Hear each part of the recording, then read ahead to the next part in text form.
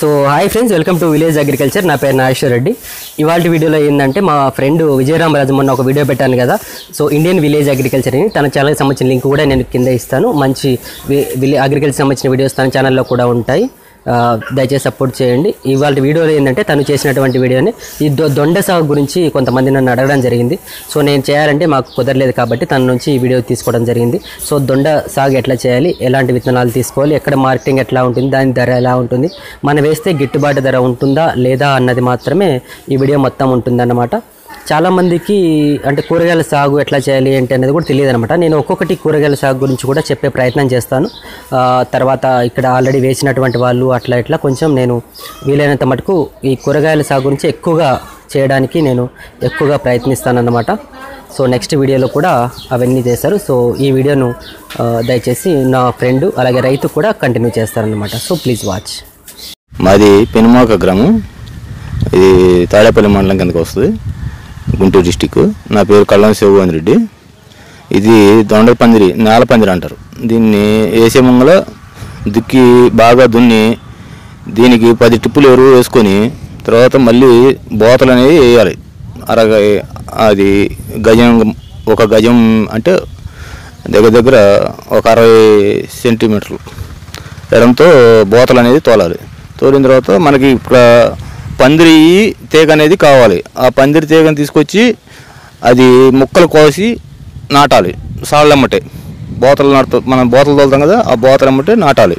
నాటిన తర్వాత నీళ్ళు పెట్టేయాలి అమ్మటిని. అట్లా వచ్చేసి రెండు రోజులు రెండు రోజులకి ఫస్ట్ స్టార్టింగ్లో తడి వస్తూ ఉండాలి.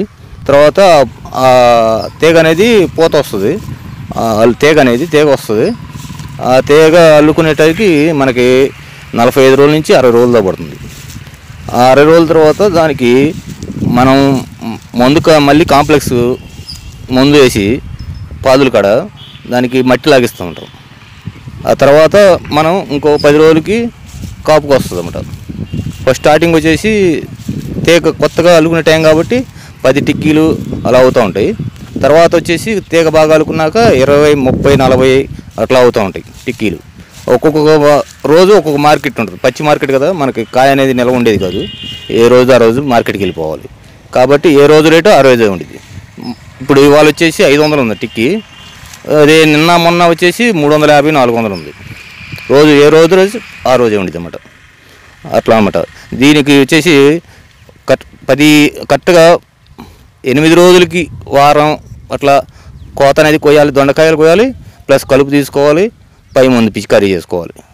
అట్లా చేయాలండి దీన్ని వచ్చేసి రెండు సంవత్సరాల వరకు పంట జాగ్రత్త చేసుకుంటే రెండు సంవత్సరాలు ఉంటుంది తీగ అనేది ఒకసారి విత్తితే మీరు రెండు సంవత్సరాల వరకు పంట మీకు చేతికి వస్తుంది ఆ, వస్తుంది వారం అది ఎనిమిది రోజులు తొమ్మిది రోజులకి కాయలు కంపల్సరీ కొయ్యాల్సింది మళ్ళీ.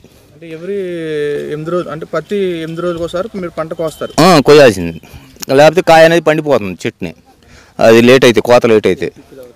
ఎకరానికి అదే వర్షాకాలం వచ్చేసి కొంచెం ఎక్కువ అవుతూ ఉంటాయి చలికాలం కొంచెం పెరుగుతూ ఉంటాయి. మళ్ళీ ఎండాకాలం వచ్చేసరికి ఎండలకు కొంచెం తగ్గుతాయి కాయలు. అలా ఉంటుంది. వాతావరణాన్ని బట్టి తెగుతూ ఉంటాయి అన్నమాట ఇవి. ఎండాకాలంలో మాత్రం దిగుబడి ఆ, తగ్గిద్ది. ఎందుకంటే ఈ ఎండలకి తీగ అనేది కొద్దిగా అన అనేది తొందరగా లెగవదు ఈ వర్షాకాలం చలికాలం వచ్చేసి కొంచెం తీగ స్పీడ్గా అందుకుంటూ ఉంటుంది. మనకి ఎకరానికి ఎంత పడుతుందండి మనకి ఇది?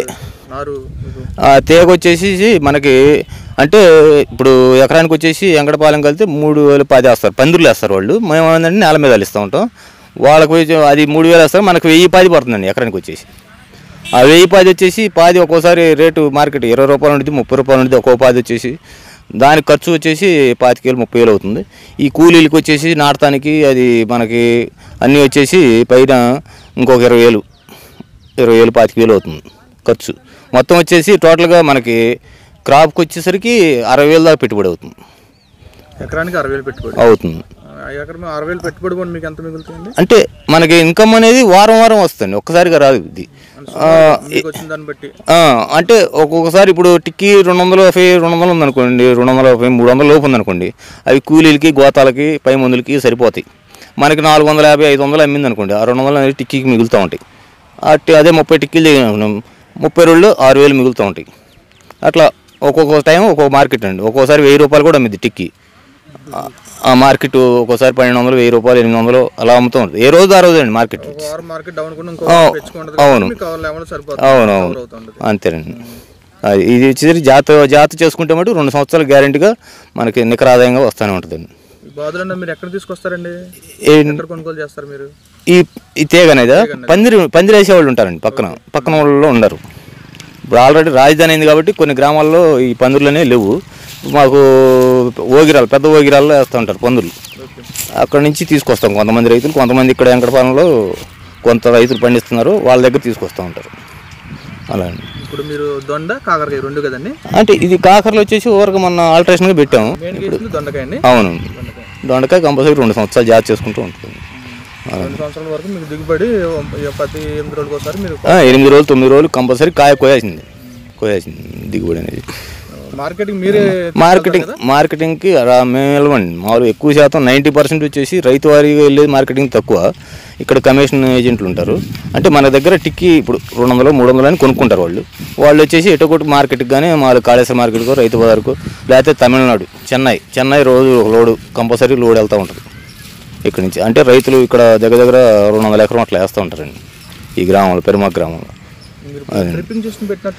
పత్తి పత్తి తేక్కి అంటే దొండ పందిరి కంపల్సరీ ఎక్కువ కాపు కాయాలంటే డ్రిప్ సిస్టమ్ ఉంటేనే బాగా కాస్తుంది అది నీళ్ళు మనం చేతి మీద తిరగేయటం అంటే నీళ్ళు ఆకు మునిగి కొద్దిగా తక్కువ కాపు పడుతూ ఉంటుంది. సుమారు ఎకరానికి డ్రిప్పింగ్ ఎంత అవుతుందండి మనకి? డ్రిప్కి తక్కువ అవుతుందండి. డ్రిప్ వచ్చేసి ఒక ఒక ఇప్పుడు పైపులు కానీ అవి కానీ పాతిక వేలు అయిపోతుంది. ఎకరానికి పాతి వేలు డ్రిప్ సిస్టమ్ అవుతుంది. అంటే దీనికి సబ్సిడీ అంటే సబ్సిడీ ఇక్కడ రాజధాని గ్రామాల్లో ఇప్పుడు ఇవ్వట్లేదండి ఒక నాలుగు సంవత్సరాలు ఐదు సంవత్సరాలు ఆరు సంవత్సరాల నుంచి. అవును. మా సొంతంగా వేసుకుంటున్నాం మేము. మామూలుగా ఇక్కడ వరకు పంటలు మామూలుగా అరటి తోటలు కంద పసుపు అలాంటివి ఎక్కువ వేస్తూ ఉంటాం మేము. ఈ దొండ పందిర్లు ఉల్లి కూడా వేస్తారండి వచ్చే నెలలో. ఇప్పుడు రేపు నాలుగో తారీఖు నుంచి స్టార్టింగ్ చేస్తూ ఉంటాం ఉల్లిపాయ. మేము వచ్చేప్పుడు చూసాం సార్ ఇక్కడ అంటే నాలుగు రకాల పంటలు ఉన్నాయి అనమాట అరటి కానీ అవును. అవును మా అవును మాకు అన్ని కమర్షియల్ పంటలు అండి మామూలుగా. మామూలుగా వీటికి అంటే వాతావరణం ఇప్పుడు అరటి తోటలు ఉన్నాయండి గాలి లేకుండా ఉంటే నికర ఆదాయంగా బాగుంటుంది. ఈ సంవత్సరం మార్కెట్ బాగానే ఉంది. రెండు వందల దాకా కొంటున్నారు గల. ఒక్కొక్క గల వచ్చేసి. అంటే మనకి రైతు వారికి వచ్చేసి ఒక డెబ్బై ఎనభై వేలు కౌలు ఒక యాభై వేలు వేసుకున్నా కూడా ముప్పై నలభై వేలు పెట్టుబడి అవుతుందండి. అంటే తొంభై వేలు పోయినా కూడా ఒక లక్ష రూపాయలు గ్యారెంటీ రైతుకి మిగులుతాయి. ఇప్పుడు- మన దొండ పంటకు మీరు మందులు ఏ- వాడతారండి? ఇప్పుడు రకరకాల చిన్న చిన్న అంటే తక్కువ క్వాలిటీ అండి. మామూలుగా ఎక్కువ పవర్ఫుల్ ఏం వాటరు ఇప్పుడు డైకోపాలనంగా అట్లా నూక్రానంగా ఆర్తిన్ లార్విన్ అట్లాంటి చిన్న తక్కువ రేటే పడుతూ ఉంటుంది తక్కువ. ఈ కూలీ వచ్చేసరికి ఆడవాళ్ళకి వచ్చేసరికి నూట అరవై రూపాయలు మనం కంపల్సరీగా ఆటో ఇరవై రూపాయలు రాను పోను. పెట్టుకోవాలి. ఇప్పుడు ఈ దొండ ఇది ఇప్పుడు ఇంత ముందేనండి? లేకపోతే ఇంత ముందు నుంచి దొండ పండిస్తున్నారు మీరు? అంటే ఈ ఈ ఒక్క పొలంలోనే కాదు మాకు పొలం ఉంది వేరే చోట కూడా. అంటే ఈ ఇది రెండు సంవత్సరాలు అనుకోండి తర్వాత తీసేసి వేరే ఇంకో వేరే చేలో వేస్తూ ఉంటాం. ఈ చేలో అప్పుడు అరటి తోట అట్లాగే పసుపు కందు అలాంటివి వేసుకుంటామండి